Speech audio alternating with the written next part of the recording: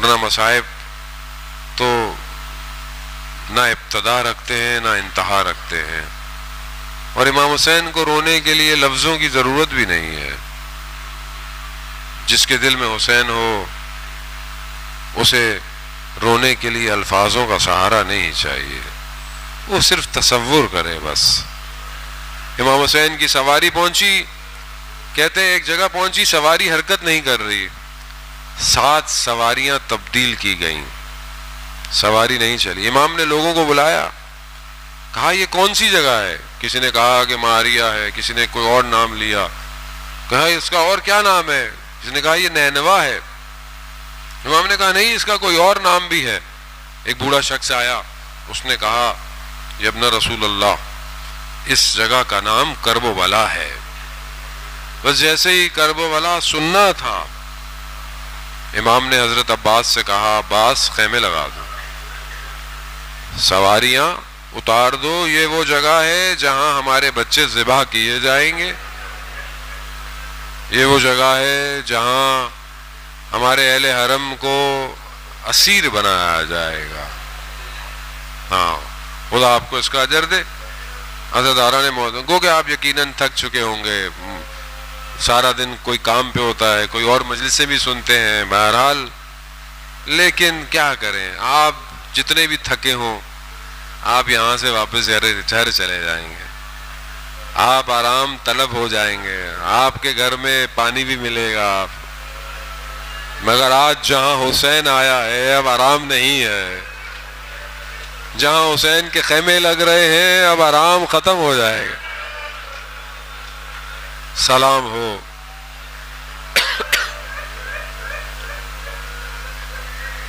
उन माओ पर जो अपने बच्चों को साथ लेकर आई। कहने वालों ने बहुत कहा, मौला, आप जा रहे हैं? इन खातन बच्चों को तो छोड़ दे। हाँ नहीं। ये हुसैन के बगैर नहीं रह सकते। अजदारा ने मोहतरम खेमे लगे।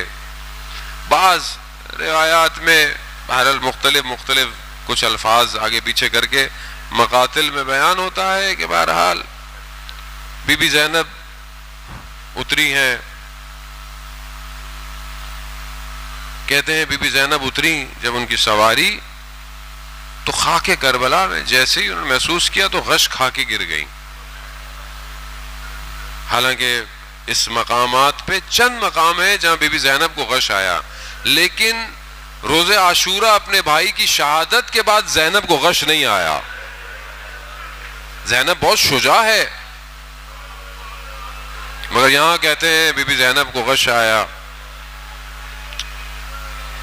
और इमाम हुसैन से कहती है, भैया, इस ज़मीन की मट्टी से खून की खुशबू आ रही है।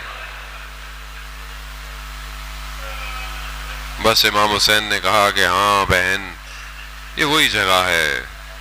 जहाँ हमारा खून बहाया जाएगा। बस अजादारा ने मोहतरम, आखिरी मकाम है जहाँ जहरा का लाल बसेरा कर रहा है। इमाम ने बुलाया, ज़मीन किसकी है? इमाम ने ज़मीन खरीदी है साठ हज़ार दरम। की और उसके बाद इमाम ने ज़मीन को हिबा कर दिया, यानी वापस कर दिया। लेकिन कहा, तीन शराय थी, तीन शराय हैं पहली शर्त क्या है? सुनेंगे आप कि जब रोज़े आशूरा, यजीद कई फौज चली जाए, हमारे जनाजों को दफना देना। ये पहली शर्त है। मैं तुम्हें ज़मीन दे रहा हूँ। पहली शर्त, आजादारा ने मतलब गुर्बत है इमाम। इमाम जानते हैं दफनाने वाला कोई नहीं होगा। अल्लाह अकबर अल्लाह अकबर। दूसरी शर्त, इमाम ने कहा, अगर कोई हमारा पता पूछते हुए आए तो उसे हमारी कबर का निशान बता देना। तीसरी शर्त, अगर कोई हमारी जियारत पे आए तो उसे तीन दिन मेहमान रखना। इसलिए कहते हैं ना, करबला तीन दिन, करबला सख्त है, ज़्यादा दिन रहना मुश्किल है बहुत ज़्यादा। जब ये कहा ना, बनी असद के तो इमाम ने कहा अपनी औरतों को भेजो। जब और खातन आई, इमाम ने कहा, मैं हज़रत खदीजा का नवासा हूँ। मैं फातिमा जहरा का बेटा हूँ। ए बनी असद की औरतों, अगर तुम्हारे मर्द किसी खौफ की वजह से हमारे बदनों को न दफनाए ना तो तुम पानी भरने के बहानों से आना और हमारे लाशों को दफना देना।